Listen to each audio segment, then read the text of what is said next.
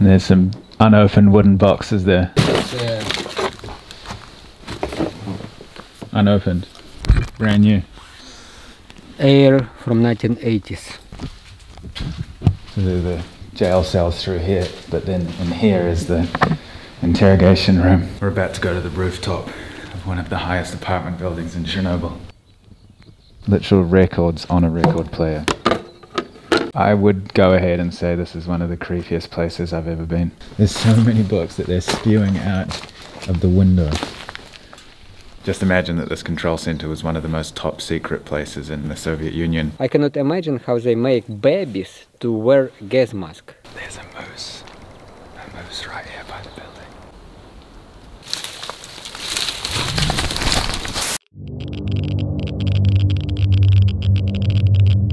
In this video, we will be entering the Chernobyl exclusion zone. But firstly, let's go back 35 years. There has been a nuclear accident in the Soviet Union, and the Soviets have admitted that it happened. От Совета министров СССР. An official announcement from the Council of Ministers. There has been an accident at the Chernobyl atomic power station. The Soviets may have been fairly quick to acknowledge the accident because evidence in the form of mild nuclear radiation had already reached beyond the Soviet borders to Scandinavia. The civilian plant in question is in the Ukraine. It's near the city of Kiev, population 2.5 million, and about a thousand miles from Scandinavia, meaning that whatever did occur there, a radioactive cloud headed north across Poland today and into Denmark, where radiation levels were five times normal, and Sweden illegally high. On April 26, 1986, at approximately 1:23 in the morning, a late-night safety test that went horribly wrong in reactor 4 of the Chernobyl nuclear power plant caused catastrophic consequences. This is my second time to Chernobyl, but in this video series we will be going deeper into the Chernobyl exclusion zone, exploring Pripyat, the abandoned city that used to inhabit 50,000 people, and even out to a remote village that used to have a population of 600 people but now has a population of only one, behind a wall of military and police checkpoints. To access the exclusion zone, it's almost like accessing another country. Multiple checkpoints, passports, and essentially visas are checked. Hospitals, kindergartens, high schools, morgues, churches, all abandoned and all left as they were on that fateful day. And remember, the people of the Chernobyl exclusion zone only had a few hours to evacuate, told that they would be returning in a few days' time. But of course, they never returned. They were told to only bring the bare essentials. Many of their belongings are sitting exactly where they were left 35 years ago.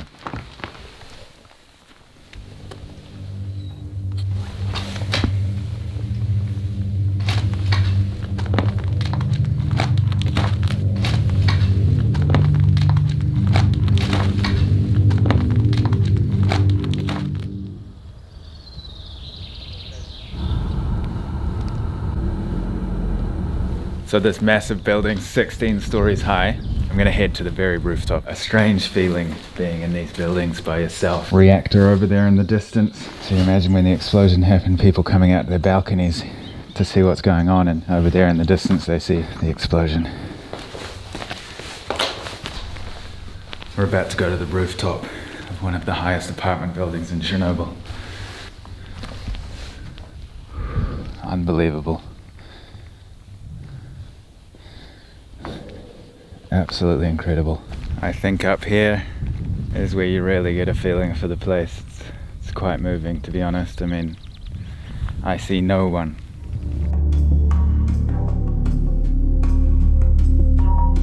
To me, what point is especially brought home being up here and you know just generally being in the Chernobyl exclusion zone is how, how life is quite fragile you know and and you never know when things can just be instantly changed at the drop of a hat. One day you wake up and you're told you got to leave, you'll be back in four days, but uh, you were actually never able to return. And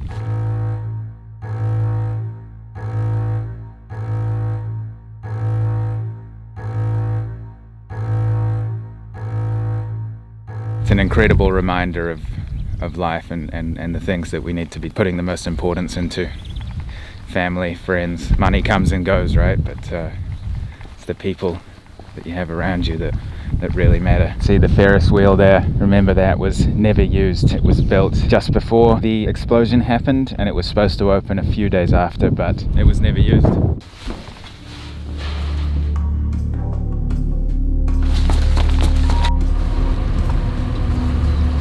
It used to be actually kindergarten, but uh, after the accident it was in use as a laboratory they brought samples of soil and herbs from all over the zone in and store it and test it. And when was this abandoned? In uh, late 1990s, I guess in 1999. Over here we have the the babies gas masks. Just in case the Americans bombed, they could put these on babies. How sick is that? Old documents here. Wow, this room is just coated in moss on the floor. Some samples, some different kind of dirts there so they can test the radiation levels. So in this room is all soil samples here. And over here you've got the name of the village here. And then you've got the, the date that the sample was taken. So that one's 96, 1993. So if we test this one is apparently reasonably low. So if you test the soil sample here, so that's 0.73. A natural level in Europe and the United States is 0.3. Even that, though, that 0.8, it's still not anything, you know, crazy. This is one where it's written that it's a bit more dangerous, a bit higher levels of, of radiation here. So you can see that steadily going up. 1.5. So yeah, again, that's that's not crazy, not great, not terrible. If you're worried or you think it might be, you know, foolish to come into these places with, you know, these levels of radiation, keep in mind that uh, if you were to fly to America for 12 hours or so, your total dose would be 22. So this is 0.3. Your total dose would be 22. The difference, though, is here you're more at risk at maybe inhaling, ingesting, or, or touching particles, whether you're in a plane. That's not possible. These are children's lockers from when it was a kindergarten. They've been turned sideways and used as, you know, storage. The ground is just absolutely littered with these bottles. I mean, testing like uh, grass. They've even got samples of well water in here.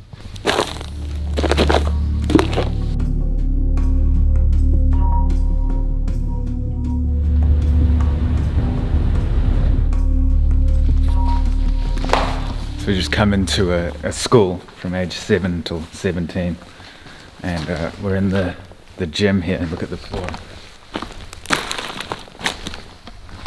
Basketball hoop, basketball's still here, gas mask, of course. Old record, vinyl record there. So here's one of the classrooms here and you've got the, the desks, double desk, two people at a desk.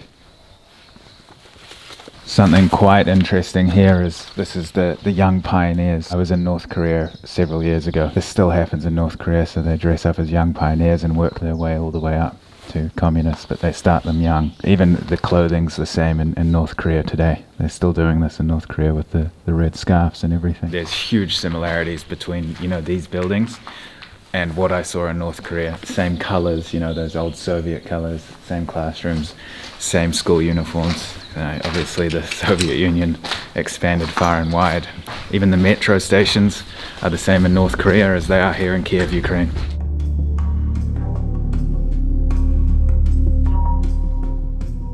So there's a book actually here in English, picture of Lenin, Lenin's childhood and school days. His mother spoke French, German, and English, and a very good pianist. I mean, this is really quite profound. And, you know, most of the scripts and, and everything here is in Cyrillic.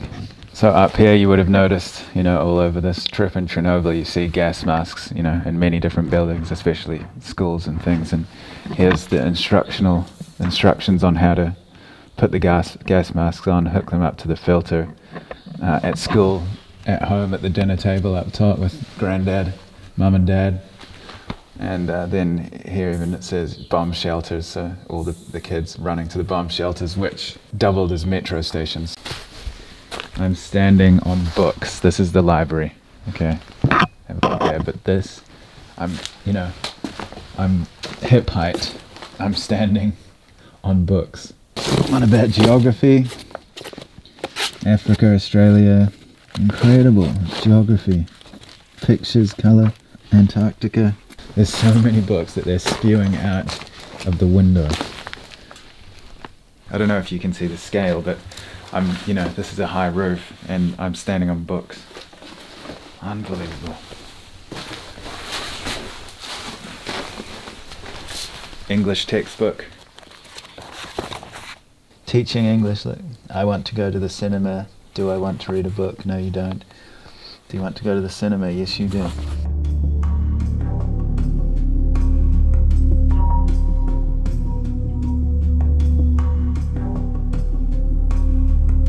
Here's music class. Smashed up piano, more seats. Literal records on a record player. Sports, you've got your weightlifting, you've got uh, archery, and then of course you've got your your pistol training. I believe this is something along the lines of sport down there and higher, faster, stronger, something like that. One thing that really strikes you about this place is definitely how quiet it is. Uh, You know, this is the, the main square of a city that used to have a population of 50,000 people. This is the, the exact center of the city, and now you can see nothing, just birds. At the school here, there's a shooting range, and you have to learn how to use a Kalashnikov in your last years of high school, Yeah, right? yeah. Can you just talk about how that was for you growing up? Soviet boys were taught how to use Kalashnikov, how to disassemble it, to assemble it, and how to shoot. We were taken to shooting ranges. So many Soviet schools uh, had a shooting range next door. Boys in last grades were taught how to use weapons, Kalashnikov. So these are gas masks, obviously for children because they're very small, right? So these gas masks weren't actually for the, in case the power plant had an issue. They were in case the Americans dropped a nuclear bomb. So this is inside the shooting range here for the, the kids of this high school. Oh wow. The ground is just absolutely covered in masks. And there's some unopened wooden boxes there and they must be full of more masks.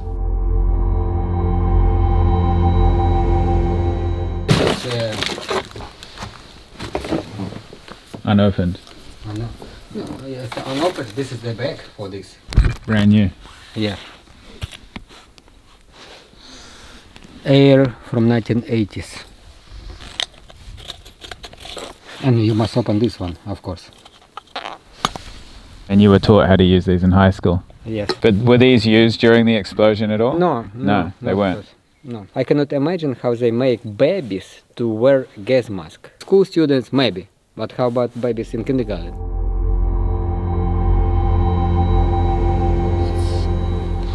Which year? So this is people's grades. Names of uh, Students. in alphabet order. Subject uh, Russian language. 26 is a day of month and month number 4. When you were at school, were you scared of, of an attack from the United States? You weren't Uh, scared. personally me, I expected in any moment. You did. Yes, I, I remember one of the night I woke up swearing, you know, because uh, it seemed to me, you know, nuclear explosion everywhere, you know, I was very scared. So Igor was just telling me that the most action that these filters got was uh, for students in the dormitories. It was uh, not allowed to smoke. So what they would do is they would take off the uh, the bottom cap here, uh, suck in a, a puff of the smoke, and then blow it through the filter, and then the administration ladies wouldn't be able to smell the smoke. The whole corner of this school here is completely collapsing into itself. Have a look. Just the weather and then the nature is just completely bringing all the buildings down. We were happy to live in Soviet Union because we were taught we must be happy to live in Soviet Union because if you live in other country it's bad. So we just come through the trees and we've arrived at a kindergarten. Kids' lockers.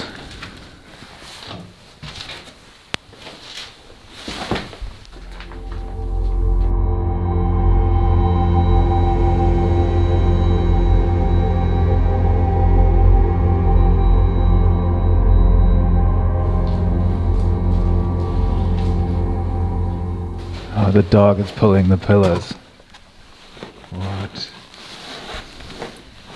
Look at all the, the cots the babies' beds.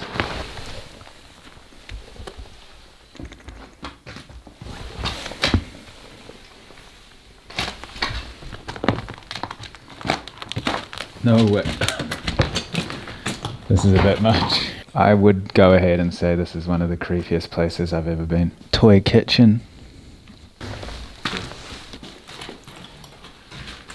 This corridor just goes way down. This building is huge. This is a huge kindergarten. When you hear a noise, you just get a huge fright. Just imagine a city of 50,000 people abandoned. I mean, I grew up in a city of less than 10,000. Quite hard to comprehend, really. Pretty unbelievable the quality of these pictures, the condition of them. There's an overwhelming amount of dolls' heads. Board games. I mean, to me, it's quite amazing the condition that these are in. Shoe.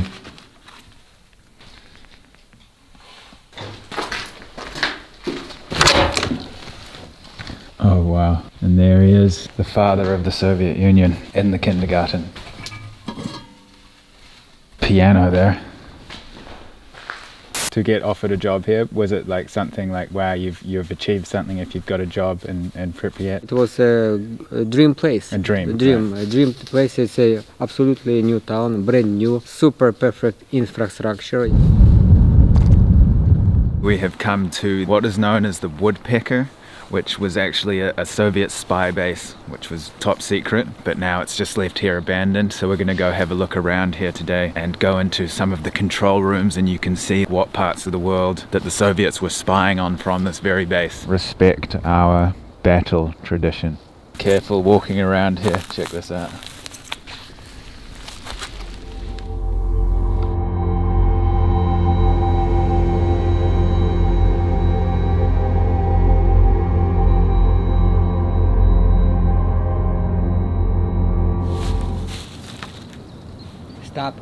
I shoot.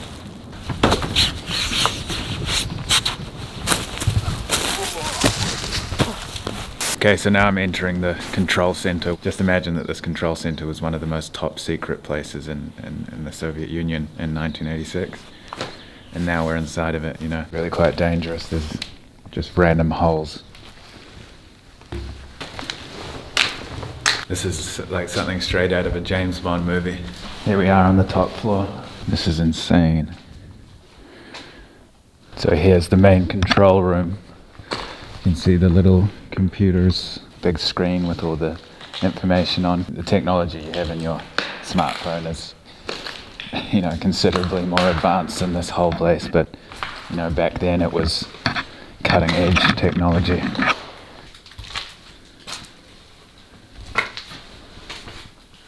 So this is something extremely interesting. Remember the big screen I was talking about upstairs? Well, that was full of these, and this is one pixel from back in, you know, the 70s or the 80s. So this is the technology that they had at the time, and that's that's literally one pixel. So the screen was made up of hundreds of these, but you can imagine the quality wouldn't have been the best, but at the time it would have been, you know, quite mind-blowing.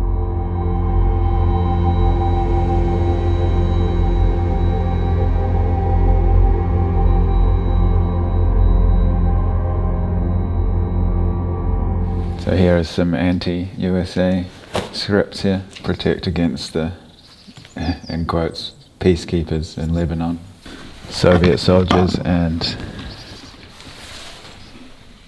American soldiers. The Western weaponry and the Soviet weaponry. Here is a map of American Air Force bases, North Dakota, Montana, Arkansas. This is USA. You try to think back to what it would have been like at the time, and it's just really hard to comprehend, but also such a privilege to be able to, to be here in a place that at one time had so much activity, uh, you know, with such international relevance. So here we have a room full of circuit boards. One of the most fascinating things, I think, in the whole of, you know, Chernobyl exclusion zone is right here. This is part of a globe obviously. You can see the United Kingdom there. So this is the area of the world that they could, you know, spy on and, and monitor from this very base. Here we have, you know, Soviet Union at the time. Here we have uh, Europe, again UK, Scandinavia, Iceland, Greenland, and then much of the United States here. So there were a few of these bases. There was another one in Far East Russia, and there was another one in, in southern Ukraine and uh, you know they could cover and spy on much of the world from from these bases. One of the most top secret places of the Soviet Union at the time is now just you can see what it's like.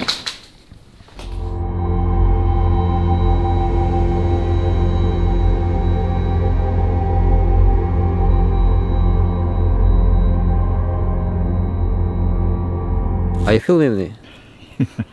you should me tell me it in advance.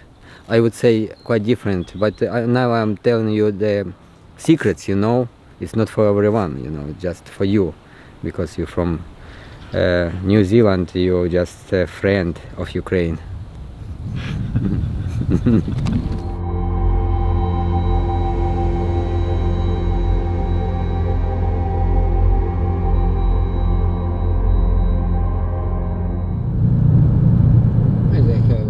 So here we are at the police station.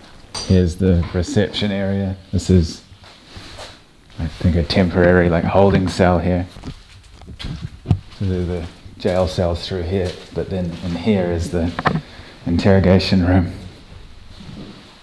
You can see this chair here bolted to the ground so they can't pick it up and throw it at the interrogator. But insane, insane.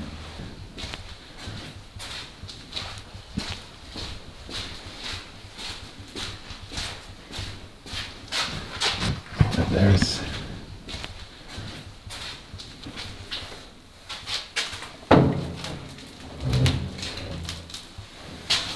you can look through here.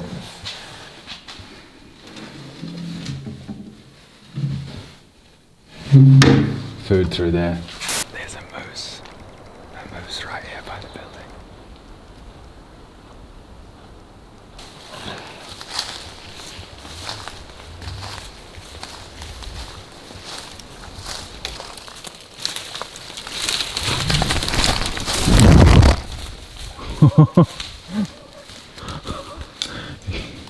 He just charged us.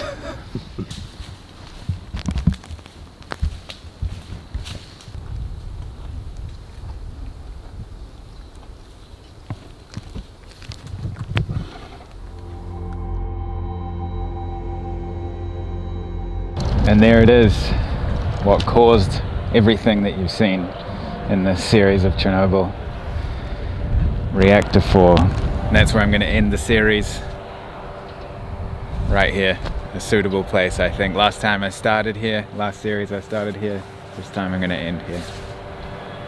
Thank you very much for watching this Chernobyl mini-series. As you can see, Igor and I had a great time making it. If you want to go to Chernobyl and you want to go with Igor, I highly recommend it if you want a knowledgeable guy that also has a great sense of humor. I'll leave the tour company down below that Igor works with. Not at all sponsored, I paid for the tour, but I really do think that it's a great company. My next videos will be in a few weeks. Sorry for the gap in uploads again. I'm sure you can understand it's not the easiest time to travel with all the restrictions and things, but my next trip is well in its planning stage. It's going to be quite a big trip. It's going to be quite something on the extreme side. Bear with me. I'll be back soon with uh, some new content for you. But in the meantime, look after yourselves and each other. And, and thank you as always for watching. And in case I don't see you, good afternoon, good evening, and good night.